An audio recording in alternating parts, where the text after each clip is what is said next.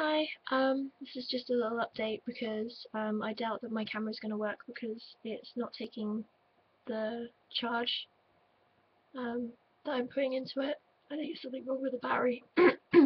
um, I'm still kind of ill, but I feel a lot better than I did Saturday, Sunday, Monday, Tuesday, which is good.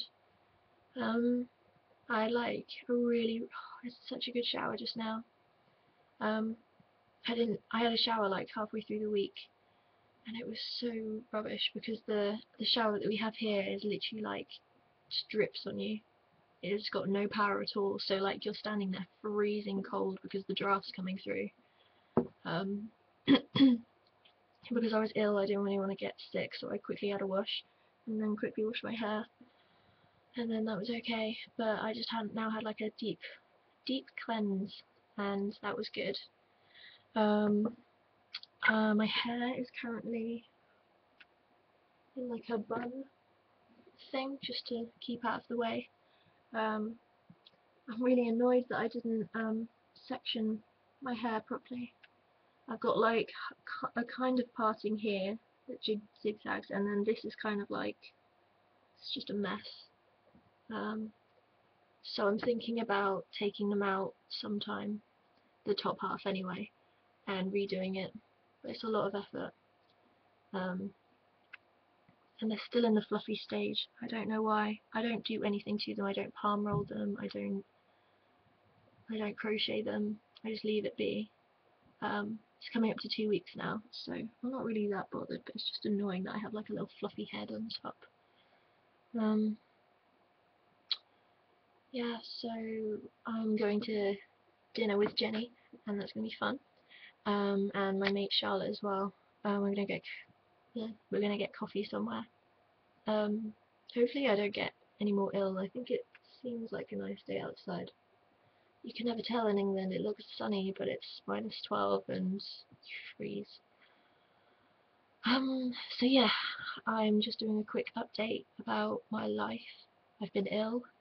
Um, and in bed all day, every day, for the past week basically um, watching in Bruges, and yeah, just generally feeling sorry for myself and um, topping myself up with uh, paracetamol. I haven't got sick from. Oh my gosh, I got sushi yesterday from Yo Sushi, which is like a chain of sushi bars, the actual like ones that have the little conveyor belt. I got some sushi from there, and it was so good and usually I get ill after, but like I love sushi so much I don't really care. Like I don't really mind that I, I get an upset stomach. But I haven't got one, which is brilliant. Maybe I've suddenly um I've suddenly got immune to it or something. So that's good. Um I'm going home next week for a reading week and that's gonna be cool. Um I'll probably take my camera out when we go out to pubs and clubs and stuff so you can see Norwich, the High Life, which is Norwich. It's not that great. It's just full of chavs and skimpy clothed women. Like old women. It's pretty bad. Um, I can't wait to go home. There's a lot of people and a lot of um, things happening in Norfolk right now which I'm missing. Um, I cannot wait to go back. There's a lot of stuff I can't wait for, to go back for. Uh, can't wait to see my friends and hang out with them. Um, I've been leaning on them quite a lot recently with um, troubles in my life, so it'll be fun to actually like see them instead of just Skype them. Um, yeah, and that's about it. Um, I would say, um, as a rule, because lots of relationships that I know at uni right now are coming to a close because I'm at my third year, I'm my final year at uni, um, or college if you're American.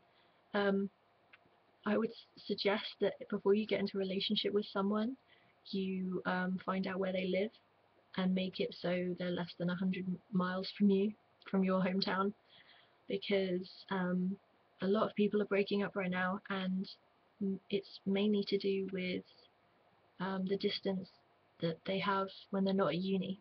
it's fine when you're at uni because you're in the same place, but once uni ends, um, and you don't decide to stay in that area, it's gonna be very hard. Um, especially living with someone um, that you go out with, to suddenly not see them for months at a time. It's gonna be very hard.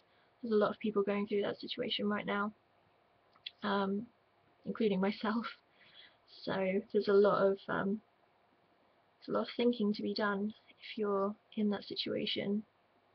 Um, and it just depends how strong the relationship, I guess, is, and how strong you are in terms of trust, or like, you know, being able to handle long distance and not see them for ages. Um, every relationship is different, but it seems that all the relationships that I know are kind of teetering on the edge of falling into the abyss and exploding. So, um, that's about it for my um, little update.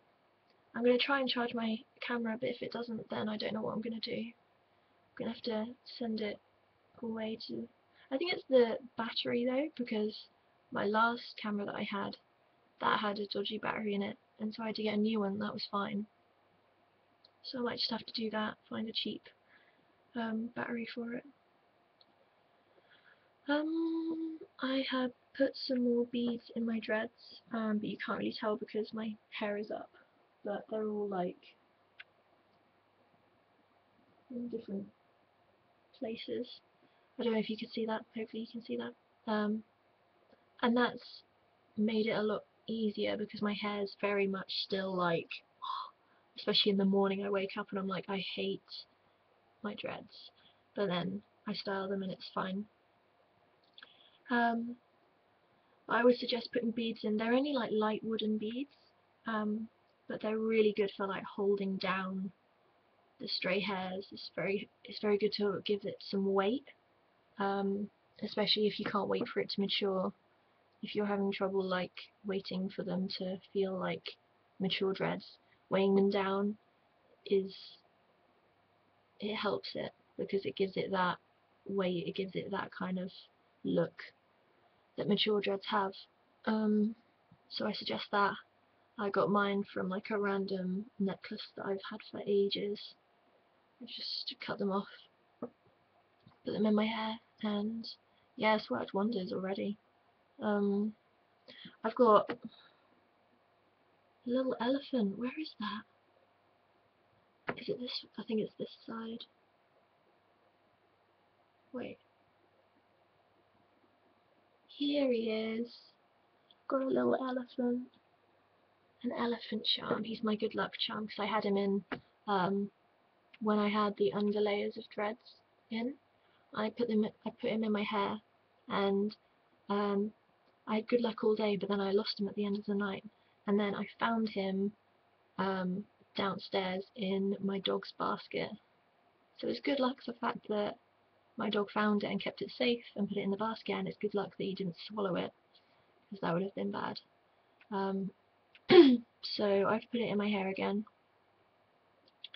Um, I'm not gonna do the threading thing, you know, people with dreads have like the thread and the wool like wrapped around like candy cane style. I'm not going to do that yet because my dreads are so thin it'll just look really rubbish. Um, I'll wait until they thicken up a bit. um, yeah, still a lot of stick from people, which is understandable because that's the natural reaction for something that you're not used to. Um, it's okay. A lot of people think that these are for life and that I'm going to have to cut my hair off and that I don't wash. Those are the three things that people are like complaining about, which I don't know why they're complaining because it's not their hair. And I don't really see the people that complain that much anyway in real life. But um, I'm not going to have them in forever. The plan was to keep them in as a tester and keep them in through the cold months because that's when my hair's the most rubbish, it's the most shit. Because it's so dry and it's so damaged. I was going to keep them in for the cold months and take them out like spring summertime um, but that's that's the plan Um, I take I might take them out sooner depending on if I get a job or not. A lot of people are saying like um, a lot of people are saying, oh, you're not going to get a job because you've got dreads, and I'm very aware of how hard it is to get job, especially in this country where dreads aren't that um, wide known, or you know, not many people have dreads in this country. I understand that. I've done so much research. I've it's not like I just did them and have no idea what to do. I've looked at every YouTube video, I've done so much research. You're saying all this stuff to me that I already know.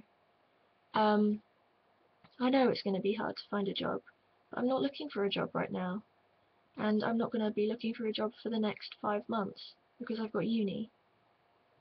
So people need to relax, okay? Stop worrying about me. I know it's not worry. I'm I guess it's them trying to be like, you need to worry about this, but I'm not worrying. It's my hair, it's my life, and it wasn't annoying me at first because I was expecting for the first couple of days people that I know to, you know, have to adjust to it, but it's been two weeks now, and they're still coming up to me, or still like messaging me and all this stuff. Um, but you just need to relax. it's just hair and it's not like I've shaved it off. It's not like I've permanently coloured it green or given myself a mohawk. It's nothing like that. Um, so just relax. Um, and that's about it. That's all I have to really say. Just to get that off my chest, I guess. I feel a little better now. Um, yeah, it just it doesn't really get to me, and it gets to a certain point where uh, it takes a couple of people to say the same sort of things um, to really get to me. Um, I feel a little better. I just need to rant for like two seconds, and then I'm okay about it. Um, but you shouldn't have to worry about what people think if you're thinking about getting dreads or you have dreads and you're in the same position as me, I'm not going to change, I'm not going to take them out because people are like, I don't like them. You shouldn't have to do that. If you're comfortable with having dreads, which I am, I love them, you shouldn't have to change for anyone. You're your own person and it makes you completely individual. It completely, it's just, you're not doing any harm to anyone. So just remember that and yes, for everyone else. Um, I hope you have a good day. um, sorry, this kind of turned into a bitchy video, but I'm so ill. I'm just so grumpy today. Maybe I shouldn't go out. No, I should. I should. I should get some fresh air. Um, so have a good day. Um, I hope everyone is doing fine. If you have any uh, messages for me, um, that's cool. If you have any questions, I'm happy to answer them. And have a good have a good day. Right, bye.